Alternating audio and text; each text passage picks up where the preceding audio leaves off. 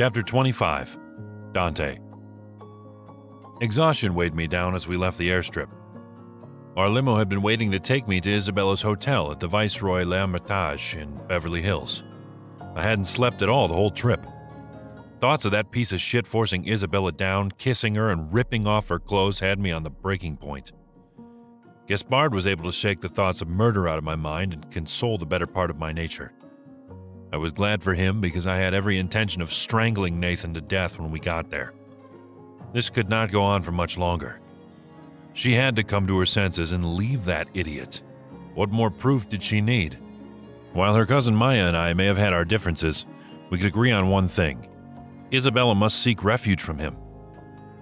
I was sure she'd told Maya the same thing she'd said to me, and if she had, no doubt they'd been talking all night. I hoped Maya would be able to persuade her to leave her destructive marriage. Otherwise, what else could be done to convince her? I might have to go back on my promise and confess everything I was withholding to her my undying love, my heart and soul, the letters, everything. I had been wondering, though, what would she think of me if I were to tell her now? Would she shun me? Would she be shocked or feel betrayed? The truth would be shown to her eventually, but it must be subtle. Actually, no. Thinking of it now, I knew I couldn't tell her yet. Not in the dismayed emotional state she was in right now. I couldn't make any judgment calls based on how I was feeling. I had to wait. Compounding her turmoil with my affection was the last thing she needed. Sure, we're here, said the driver, pulling up to the hotel. I just wanted to see if she was all right. I had to see her. After she emailed me the name of the hotel she was staying in, I had my people put her up in the presidential suite. We made our way into the hotel and up to the elevator. Having stayed there many times before, I knew exactly where to go once I got there. The moment Gaspard and I stepped out of the elevator, we heard shouting.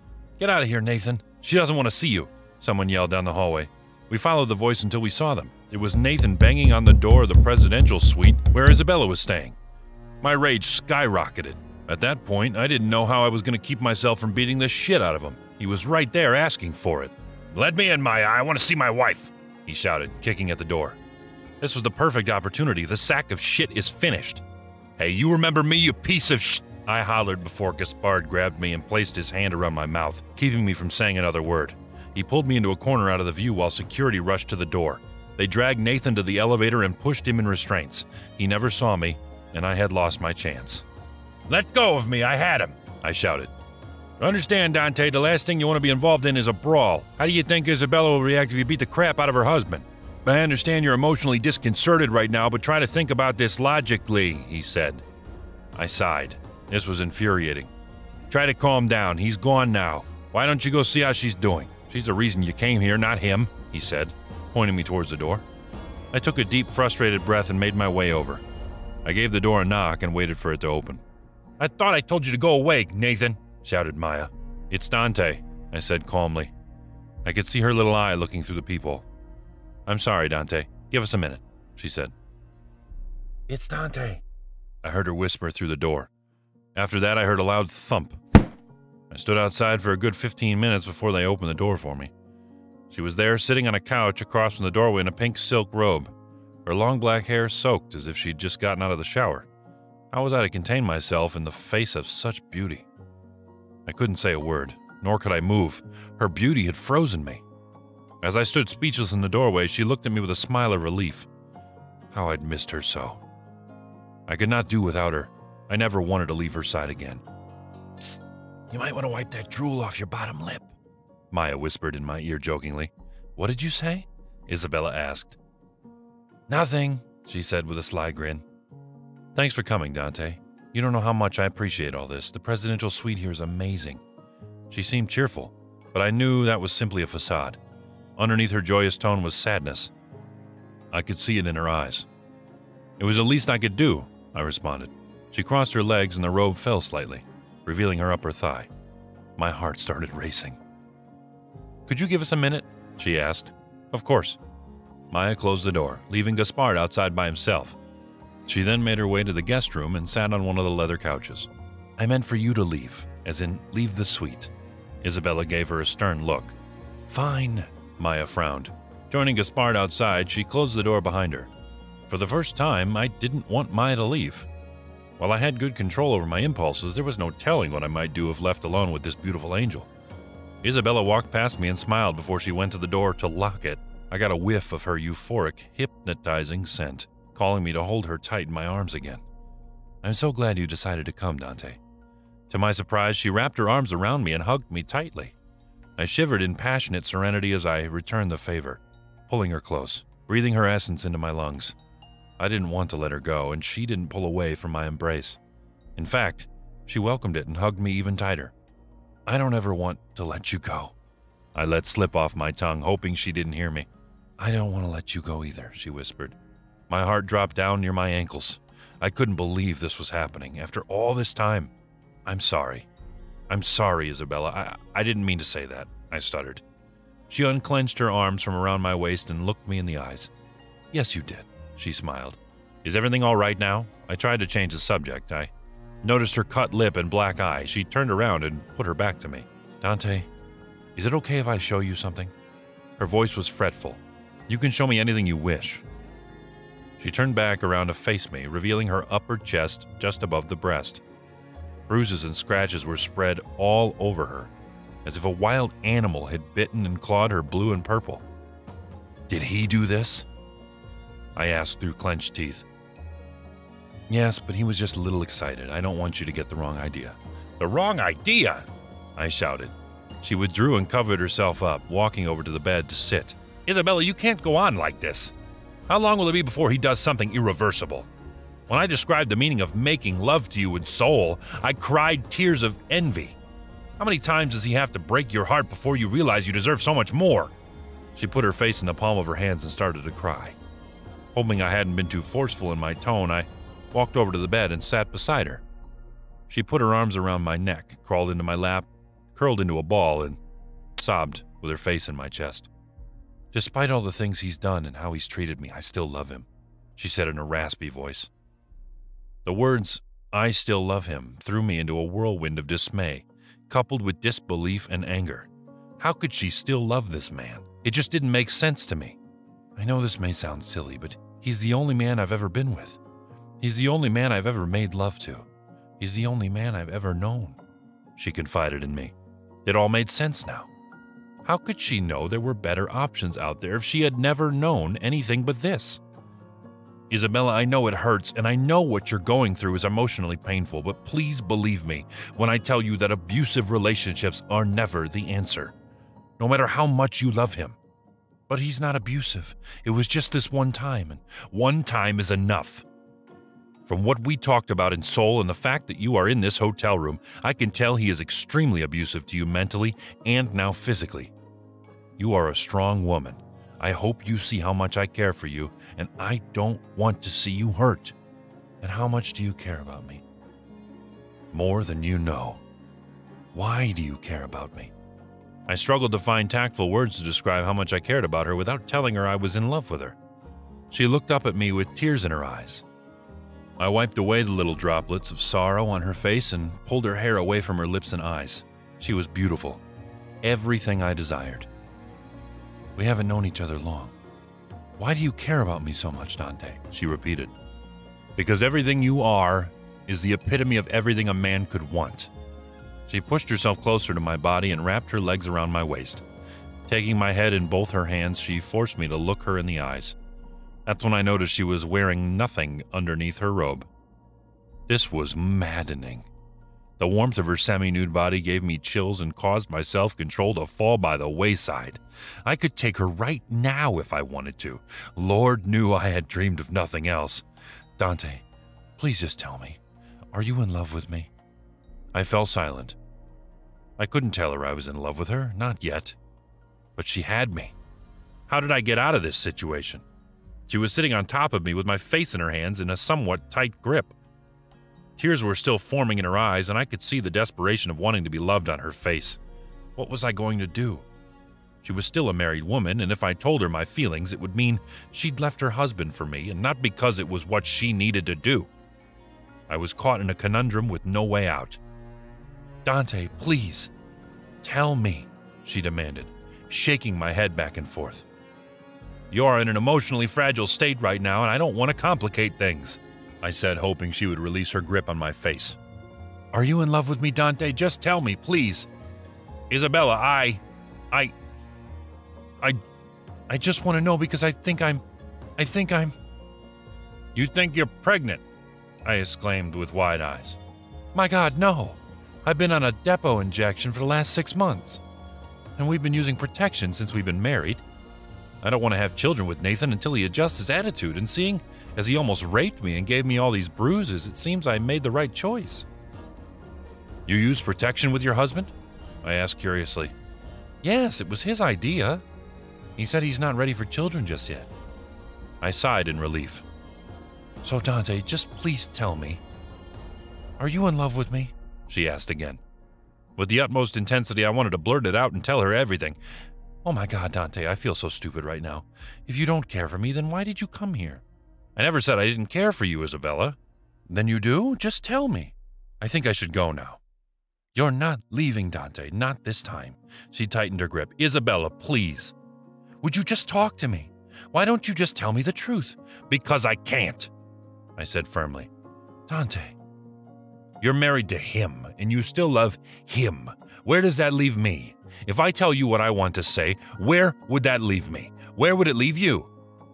She got quiet and let go of my head, leaving two sweaty palm prints on my cheeks. In my entire teenage and adult life, I had never shed a tear, never cried, even when I saw my father buried at his funeral. The same man who taught me to always respect the virtue of marriage also taught me that men do not cry. Nevertheless, as I sat here and looked at this woman in the eyes, I couldn't help but unleash a single tear. It rolled down my face, and she wiped it away and embraced me once more, putting her head on my shoulder. I can't let him go, but I can't let you go either, she said, putting a dagger through my heart as she professed her love for that maniac again. Soon, Isabella, you will know everything about me. When you're ready to let him go, I'll be there, I said combing my fingers through her hair. I never thought things would go this far. What I didn't understand was how she could still be in love with him. What power did he have over her? It was maddening to think about. Chapter 26 Nathan I went to her hotel, but her bitch cousin Maya was there. She wouldn't let me see her, I shouted in frustration. If you screw this up for us, I will end you. This isn't a game, Nathan. Both of our asses are on the line here. You couldn't control yourself for a few more months? Oliver scolded. I just got a little carried away. I know my wife. I have her wrapped around my finger. She'll be back in my arms wanting my love and affection in no time. Oliver looked at me dismissively. He wasn't buying it. But I knew my wife. It was only a matter of time before she came crawling back to me. If you put our plans in jeopardy, I swear to fucking God, Everything will go as planned. Don't worry your weak, feeble little mind. All had better go as planned, Nathan. Embezzling your wife's wealth and the profits from the company will only work if you two stay together. I am all too aware. And don't forget who the hell you're talking to, I hissed. He shied away, because he knew I could release the monster any time I chose. Oliver knew what was at stake, which was why he had no choice but to get involved when I told him what happened. She always stayed at the same hotel, close by the office, when she was too tired to make it home, so I figured she would have gone there. With Valentina growing restless, I had to find a way to convince my wife to give up ownership of her company. Oliver had started to receive pushback from Gaspard on the financial information that led to the dismantled partnership with the Xinghai Ma Corporation. If Gaspard discovered the truth, it would mean not only the ruination of Oliver's career, but also a potential prosecution for the both of us. While in South Korea, Isabella had instructed him to forward this information to the team of that billionaire partner of hers when they got back. However, Oliver still had yet to do so. He could have come up with something for their meeting tomorrow if asked about the information. I hadn't spoken to Isabella the entire time she was in South Korea, and I'd lost valuable time in trying to convince her to sell. The lost time would have to be rectified, depending on Isabella's willingness to come back home. In the meantime, I had to find a way to keep Valentina's impatience at bay before she did something that would destroy all our plans. Chapter 27 Isabella. It had been over a week since I had seen Nathan, Dante, or Maya. I knew I couldn't stay at this hotel forever, but my mind had been going in circles, and I didn't know what to do. I had to postpone the meeting with Oliver and asked Maya to brief him on our standing in the Asian market a few days ago. Oliver may not have agreed with my decision, but I went ahead and appointed Maya the interim COO of the company. We're family, and she understood the company just as well as I did. In all honesty, she'd been with me since its inception. She had the experience and knowledge, and I trusted her to run the company in my absence. I just hoped things would be alright as I got myself together. Hello, ma'am. Room service, a man said, knocking at the door. I was a little surprised and mystified. It was strange because I didn't order any room service. Just leave it outside, I said. I'm sorry, ma'am, but you have to sign for this. With my hair a mess and my face flushed red, I went to the door to let him in. He served me a piece of chocolate cake with a letter, the same type of letter I would see in my waterfront. It was the same configuration from my secret admirer. It couldn't be.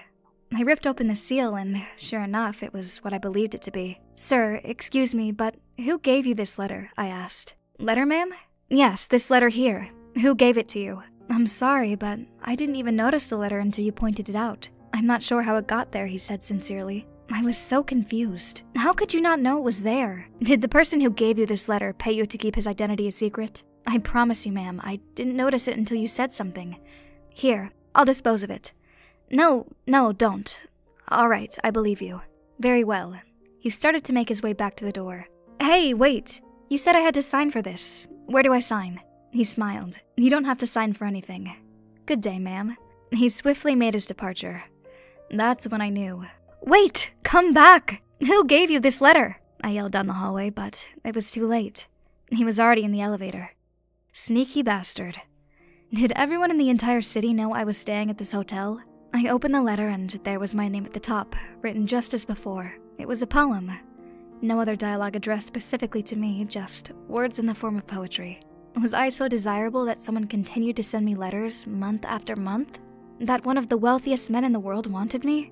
I was just an ordinary businesswoman, trying to make a name for herself. I unfolded the rest of the paper and read the words written Dear Isabella, forbidden this gift of passion as it is drowning in secrets, dancing its dance and singing its songs. I hope you finally realize that it is I who have loved you for so long. The salted sea air blew through your hair during the sunset, gratifying my feelings yet tormenting my soul.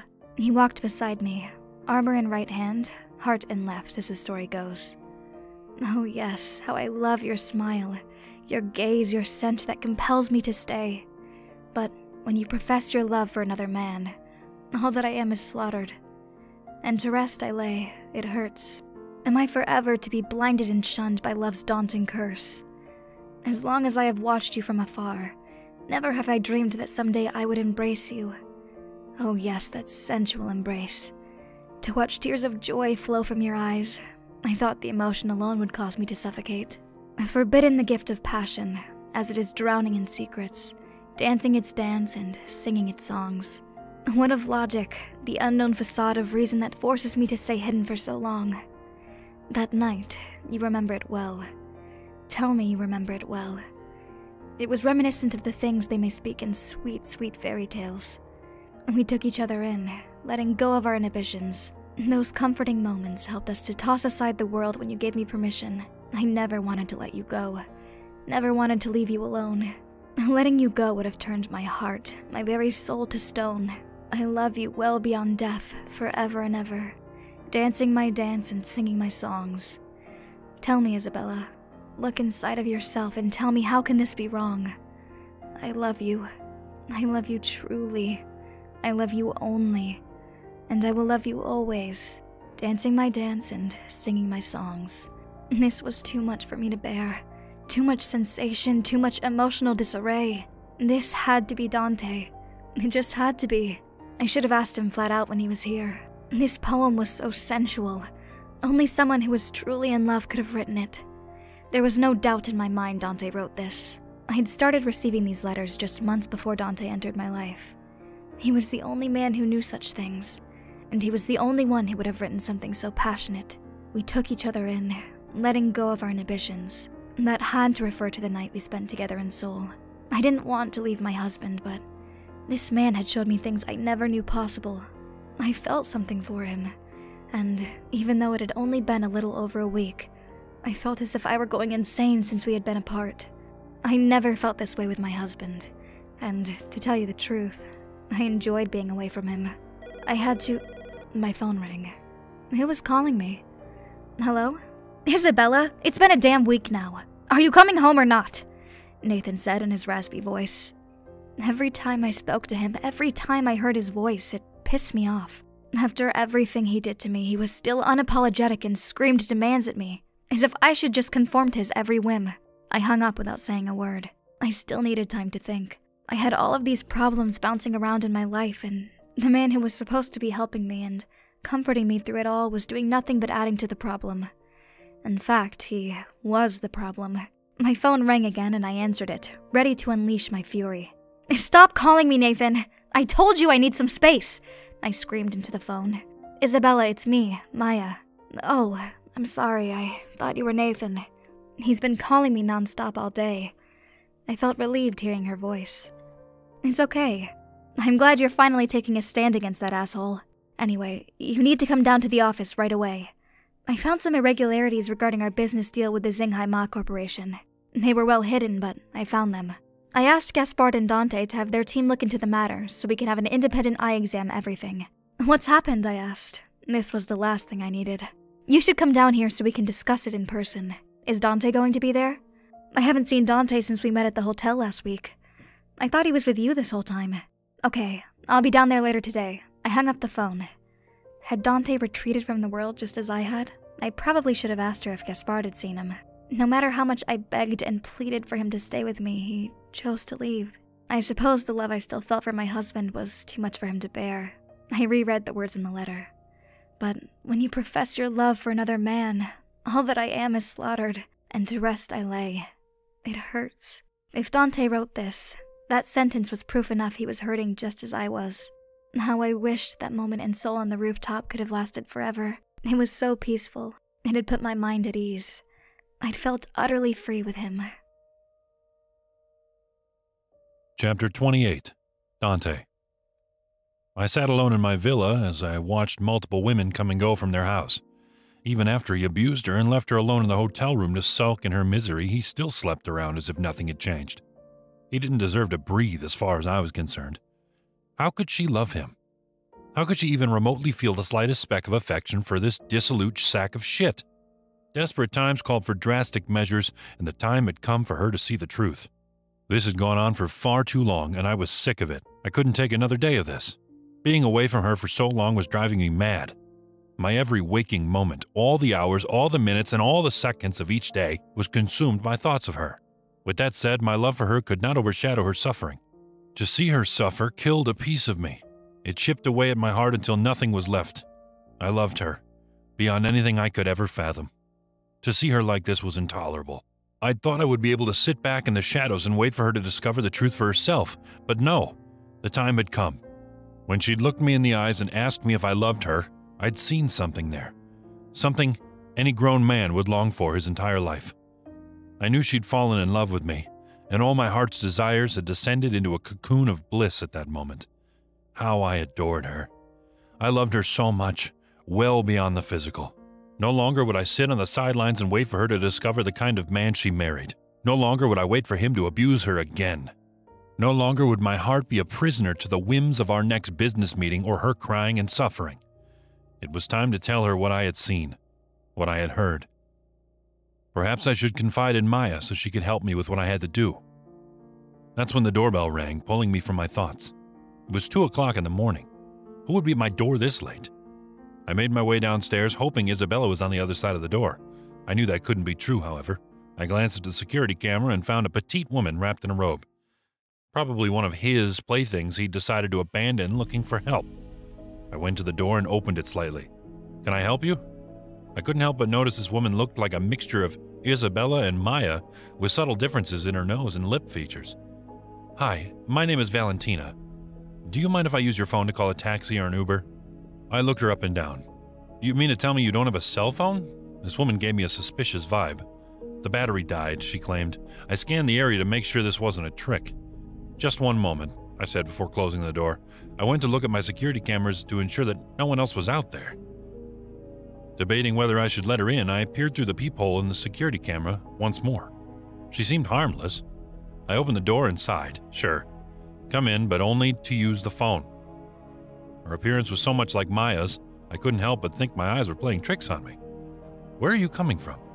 She didn't answer. She only stared me in the face for a moment. The same look Isabella had given me when we first met. Are you here alone? she asked. I took a seat on the couch. I thought you just needed to use the phone. Here. I tossed her my cell. Without another word, she took off her robe, revealing her red and black silk lingerie. I jumped up out of my seat and took a few steps back. I need you to help me, she said. I backed away. Please, leave right now before I have my security team escort you out, I demanded. She stood there laughing. This was the last thing I needed right now. Some strange woman showing up at my door wearing lingerie? This had to be a dream. Are you going to help me? She asked, putting her hand on my shoulder, moving her body closer to mine. I stepped back and made my way to the front door. What is it that you want? My phone is right there. I want you inside me, she said, smiling. Leave. Now, I said forcefully. Was she insane? She walked over to the door and pushed it close. I just want you to help me, that's all. You're one of my neighbor's girls, aren't you? What happened? Did he kick you out and now you're looking for somewhere else to stay? What do you know about your neighbor? I know he's a fiend that I want nothing to do with. I also know his wife. If you're not going to call an Uber, then perhaps I should call her to come pick you up, I said firmly. She backed away, mouth gaping. Putting her robe back on, she rushed to the door, but I blocked her way. You're hiding something, aren't you? Tell me the real reason you came here. You asked me to leave, so I'll leave, she said. I continued to block the door with my arms. Something was suspicious about this, and I was going to find out what. After she backed away from the door, I sat on the chair next to the couch. She sat on the couch across from me. The only way you're opening that door is through a code. And until you tell me the real reason you came to my door, you're stuck in here, I said politely with an undertone of suspicion. If I had known you knew Isabella, I would never have come here. I could tell she was nervous. I'm going to ask you one last time. Why did you come here? She looked at me, then down at her feet, seemingly refusing to speak. Fine, I guess I'll just give Isabella a call. Maybe she might know why you're at her house at 2 a.m. with her husband. No, please don't, she said. I'll tell you everything. She tightened her robe and adjusted her sitting position. I sat there, waiting for answers. I'm Isabella's cousin, she said. I was stunned. Nathan was fucking his wife's cousin? The bastard had no shame. I thought she looked like Maya, but this was ridiculous. Do you know a woman named Maya? I asked. Yes, she's my sister. Again, I sat there shocked. Words couldn't explain the shitstorm that would occur if Isabella knew about this. I knew Nathan had no morals, but to cheat with his cousin in law was beyond reprehensible. I put my face in the palm of my hand and shook my head in disbelief. Maybe moving into this villa was a mistake. Now I was caught up in Nathan's mess, all because this woman decided to come to my door unannounced. Why the hell did you come here? I'm not much for passing judgment, but the fuck your cousin's husband is just. Never mind. Just tell me what you want. Promise me you won't tell Isabella any of this, she pleaded. I sighed. Tell me, and I'll have one of my security team drive you home safely. All right, all right. Relief flushed her face. Nathan, your neighbor, kicked me out and told me to walk home. He wouldn't give me my car keys, and I don't want to involve the police for obvious reasons. So why try and seduce me? Why not make your call and leave? That was my plan until, of course, you answer the door. You're Dante Alonzo. Aren't you? I read Forbes in the Wall Street Journal. I know who you are. You're the most desired bachelor there is. I thought I'd take a shot. Besides, why are you living here, anyways? You could have an entire beachfront of villas if you wanted them. I rolled my eyes. You can leave now. Tell your little boyfriend to give you the keys to your car back. Threaten him if you wish, just get out of my house. I moved aside, creating a pathway for her exit. Wait a second, I can't go back there. He's insane, she bellowed. You're both insane.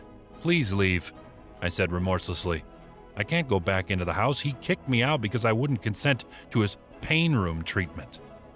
My brows curled. Pain room treatment? He has a pain room? Yes, she lowered her gaze. Do I even want to know what that is? I was afraid to ask, but I was also worried he may have subjected Isabella to whatever lied within this room of his. Crossing her arms and embracing her gut, she went on to describe some of the most sickening acts of sexual gratification I had ever heard. When she started to explain to me what he had done to her in that pain room chamber he created, I almost vomited. I felt nauseated and ashamed of having to listen to it. Stop, please, just stop, I said. She got on her knees. Can you come over there with me and help me get my keys from him? I stared at her as if she were nuts. There's no way in hell I'm going over there. I'm not getting involved in this nonsense. She stood up. Please? Absolutely not. She dropped her head. I still had no sympathy for her. This was all her doing, anyways. Do you know if he ever did that to Isabella? The question that would determine whether or not I would beat Nathan to near death. She curled her lip and smiled. Hell no, he hasn't. Why do you think he fucks me? Isabella would never be able to satisfy his sexual urges. I'm pretty sure she'd divorce him if she knew what kind of man he truly is. Relief purged my torment. Picturing Isabella with him as she just described would have broken my heart. I ran my fingers through my hair and squinted at her in disgust. I don't understand how you could sleep with your cousin's husband, knowing what type of man he is. I shook my head. Once again, she didn't reply. She only gave that expressionless stare as if I were in the wrong for even asking such questions. I picked up my phone. I'm calling Isabella. She has to know about this. Her mouth dropped open. Of course, Isabella didn't know I was living in the villa next door, and giving her this knowledge was the last thing I wanted to do. Despite the emptiness of that threat, Valentina stood up and stopped me. Wait, please don't. Promise me you won't call her, and I'll tell you everything, she begged. Everything about what? About their scheme. Scheme? What scheme? I laid my phone down and gave her my full attention. She had my interest now. Look, I'm not fucking him just for the pleasure's sake. Things are in motion you can't begin to understand. Regardless, after what Nathan tried to pull on me, I'm convinced he's not going to let me in on anything. He'll probably just disappear once they have the money. The money? I raised an eyebrow. Tell me everything. They're going to siphon all of Isabella's and Ariel and Kam Cosmetics assets. They've been planning this for years. I wanted in, so I lied to Nathan about being pregnant. But after he strapped me to the floor of his pain room and put a dagger to my stomach, I knew he was crazy, she confessed. I tried to maintain my composure as best I could. Who are they? I hissed. Nathan and Oliver. Like whiplash, it hit me without warning. I couldn't believe it. If she hadn't come to my door tonight, I slammed my hand on a nearby table, which caused her to flinch. That fucking piece of shit, I murmured. What the hell made them think that they would be able to get away with this? They knew my team of forensic accountants would eventually find out. Now, here this woman Valentina was, giving me all the information I needed to bring this destructive marriage to its end. One thing I'd learned about Isabella was that her company was one of the most important aspects of her life. She would give her all to make sure the business maintained its success. This woman coming to my doorstep was a blessing just as much as it was a curse. Do you have any idea what this means? She scoffed. Yes, I know exactly what this means, but I have no other choice. The second I entered your home, I was screwed. You were going to tell her I was here, and from there, the dominoes would have fallen, leading to her finding out everything, anyways. I think it's better she hears it from you than me. You don't know her. She's insane. I shot her a confused gaze. How is she insane? Isabella is emotionally unstable. She beats her husband and treats my sister like a slave. There's no telling what she'll do when she finds out about this. When she does, I want to be as far away as possible. I almost busted out laughing. She couldn't be serious. Who told you such nonsense? Nathan. He has the scars to prove it. He told me Isabella put a couple of billiard balls into a sock and hit herself in the face and chest. Now she wants to paint him as an abusive husband so she can divorce him, leaving him with nothing, she confessed. I sat there mesmerized. Her gullibility knew no bounds. And you believe that bullshit? After what he tried to do to you? Even after he told you he was going to steal all her wealth, you still believed him? She's your cousin. You don't know your own damn cousin? I started to become frustrated by her obliviousness. She said no words.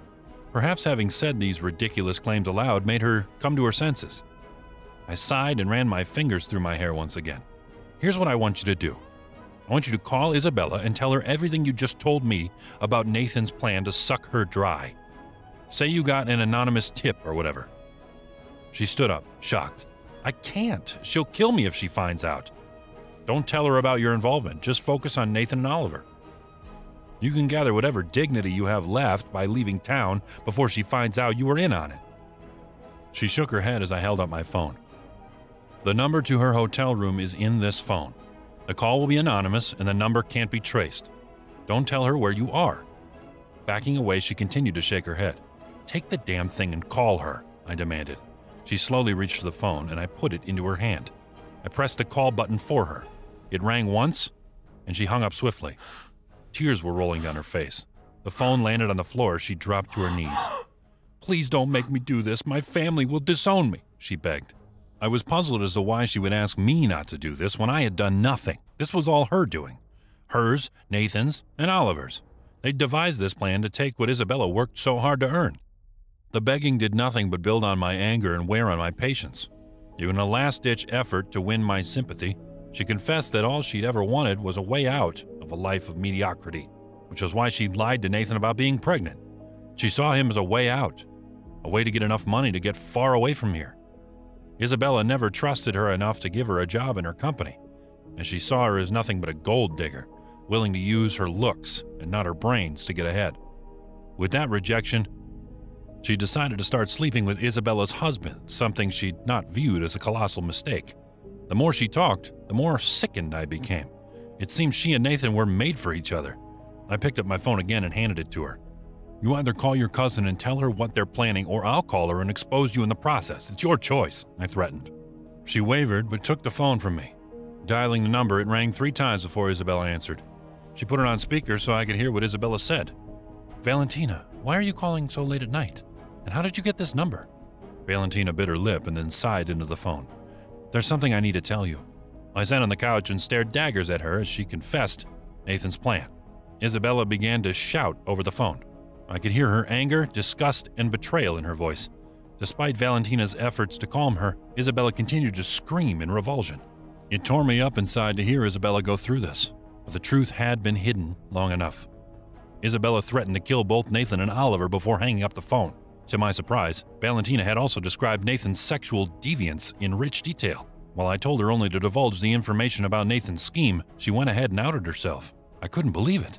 Valentina handed me the phone and walked over to my front door. Why? Why'd you tell her about your affair with Nathan? I stood there perplexed. Because I couldn't live a lie anymore. I didn't want what happened to me to happen to her. It's obvious Nathan only cares for himself. If I can't get what I need, then neither should he. She opened up the door and was about to walk out. I was stunned by her crisis of conscience. An Uber was waiting outside for her. That's for you. I called them before I even opened my door. She gave me a slight smile before climbing into the car. With her gone, I was now more worried about Isabella. I could only guess she was on her way home to see Nathan, and it was anyone's guess what she would do once she got there. Nathan had a collection of people over there already. If Isabella saw him for who he truly was in rich, hedonistic detail, she might do something she'd regret. Worried about what Isabella may do, I called Maya in the hopes that she'd answer she could meet Isabella there to calm her down. I knew once she was calmed, I would have to tell her everything. The time for secrets was over.